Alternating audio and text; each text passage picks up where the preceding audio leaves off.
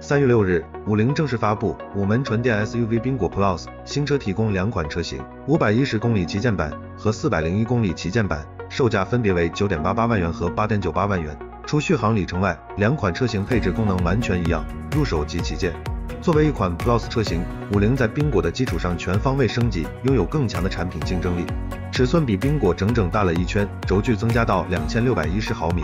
车身提供风暴灰、极光绿、亮子黑三款配色，多达九处的低风阻设计，让整车风阻降低了百分之十三，实际增加续航二十公里。全新设计的一字形 LED 灯组辨识度高，和普通缤果很容易区分。座舱采用三百六十度轻肤软包设计，搭配控镜绿、暖沙白两款内饰配色。八点八英寸仪表搭配十点一英寸中控屏，内置灵犀系统，升级为电子怀档后，仪表台进行了镂空化设计，呈现双层辅导效果，增加更多储物空间。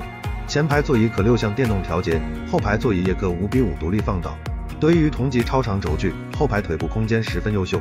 后备箱延续了缤果上备受好评的下沉式储物设计，最大储物可达一千四百五十升。动力上，五菱缤果 Plus 搭载七十五千瓦水冷点线电机，最大扭矩为一百八十牛米。百公里用车成本不到六元，快充三十分钟即可补能百分之八十。在五菱缤果一年销量突破二十五万台之后，五菱缤果 Plus 正式上市，缤果家族组成的双车战略也正式成团。在八万至十万元级的 A 零级汽车市场，燃油车、插混车、纯电车的比拼将会更加激烈，而消费者的选择也将更加挑剔。五菱缤果 Plus 能否带来 Plus 版的市场表现？敬请市场和时间给我们答案。